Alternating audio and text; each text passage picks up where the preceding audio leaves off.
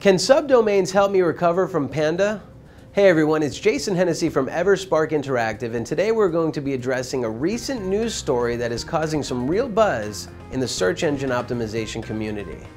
Yesterday, the Wall Street Journal published a story on one website's claim that has been able to recover from Google's Panda update by dividing its large site among several subdomains. The five-year-old site hubpages.com was severely affected by the update because it relied heavily on Google for its traffic. The content publishing website CEO, Mr. Paul Edmondson, guest blogged on TechCrunch about his post-Panda plight on May 5th, admitting that his open publishing platform furnishes both high quality and some low quality content. He also added that YouTube does this as well. However, in his guest post, he discusses his shock at the discovery that his entire domain was being punished by Google due to the low quality work of certain content contributors.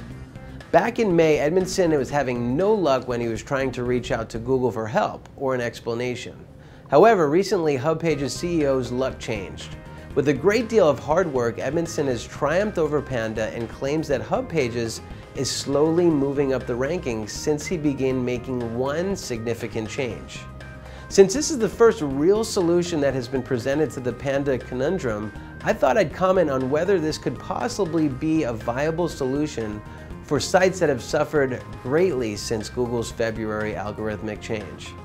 HubPages.com's mix of high quality content and low quality content is probably the reason for its 50% ranking droppings. 50%, not to mention the millions of dollars lost in revenue post-Panda. Though the site has made its standards stricter and cleaned up its act, it still saw no positive results. Then, a light bulb came off in Edmondson's head. He came up with the idea of creating subdomains, where each content author on the site has his or her own site. This way, Google can distinguish between high quality written content and low quality stuff. Finally, receiving confirmation that this was a good idea from Google's own Matt Cutts, Edmondson began testing this method in late June and claims to have already seen pre-Panda traffic on some higher quality subdomains. Encouraged, HubPages began implementing this technique for every author on its site this week. Essentially, by separating the good content and the bad content, this site has given Google the opportunity to reward some of the subdomains and eliminate the others that have very little to contribute to what Google wants to be content farm free internet. Either Google is reassessing all the content or the revamped HubPages has simply avoided the penalty. Either way, this is the first time a large website has been able to escape Panda's death grip.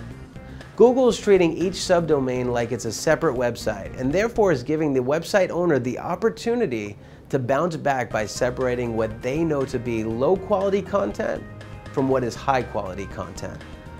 SEO Book CEO Aaron Wall recently blogged about this new development, commenting on the irony of the fact that as soon as Edmondson pointed out in his guest post that Google's own YouTube wasn't being punished for low quality content, while other sites, including hubpages.com, were, Matt Cutts quickly responded to his queries with confirmation that subdomains were the way to go.